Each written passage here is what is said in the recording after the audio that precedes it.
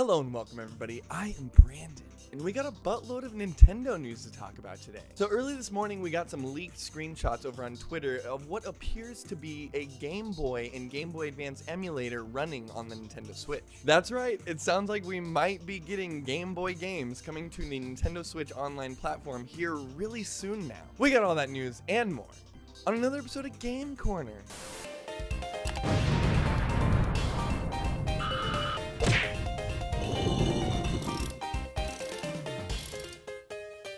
Thanks for watching, everybody. If you like what I do, please like the video. Subscribe to the channel if you'd like to see more, and I'll stop wasting your time. So like I said, early this morning over on Twitter, a user at Trash Bandicoot posted leaked screenshots of what appears to be a Game Boy and Game Boy Advance emulator running over on the Nintendo Switch. As you can see, there are tons of ROMs in here. Everything from Pokemon Pinball Ruby and Sapphire to Tactics Ogre the Knight of Lodis, Golden Sun, Mario Bros, and the most exciting in my opinion, the Pokemon trading app. Before we jump into this too hard, I do want to say, of course, we're working with leaks today, so take everything I'm saying with a grain of salt. While this information has been confirmed to be true, it is always possible that this is still in the works, or it's just something that they've been working on in the back end and don't actually intend on releasing. Anyway, like I said, one of the most exciting things in this list, other than Golden Sun, which is a absolutely fantastic RPG you should play, is what appears to be this Pokemon trading app. And if I were to take a wild guess, I would think that maybe this is some sort of trading application that allows you to play some of the old Game Boy and Game Boy Advance Pokemon games and then eventually trade them over to Pokemon Home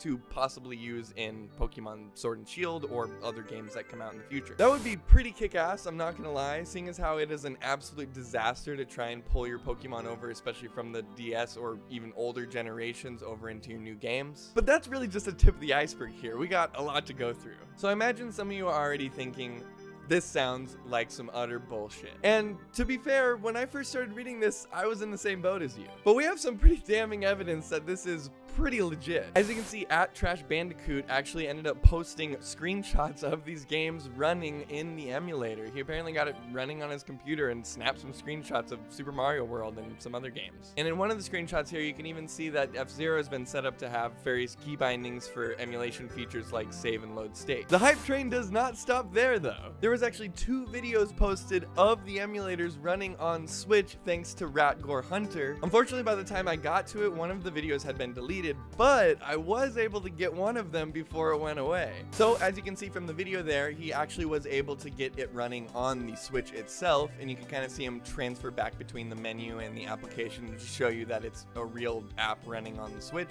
It even has a little Game Boy icon and everything. So at this point, you're probably wondering, how the hell did this guy get a Game Boy emulator running on his Switch? This has to be tampered with. So this story actually comes over from the most infamous discussion board on the internet, 4chan, where some anonymous user posted four files, two of them being the Game Boy and Game Boy Advance emulator that Nintendo supposedly has developed, and then a couple other just little update files. It obviously wasn't long until people started to dig into this, seeing what it was and if it worked, and obviously from the looks of it, it's running really great on the Switch and on PCs. So this is what we do know about the emulator. We know that the Game Boy Advance one is called Sloop, and we know that the Game Boy one is called Hiyoko. Sloop has this fancy little boat icon, and then obviously the Game Boy one has that little Game Boy icon like we saw earlier. And after a little bit of digging, they were able to find that these apps were developed by NERD, or Nintendo Europe Research and Development. And as we can see, they're both very functional, other than some minor bugs that Trash Bandicoot mentions. He goes on to say that these weren't actually leaked from a Nintendo server, they were actually data mined from a Nintendo Switch console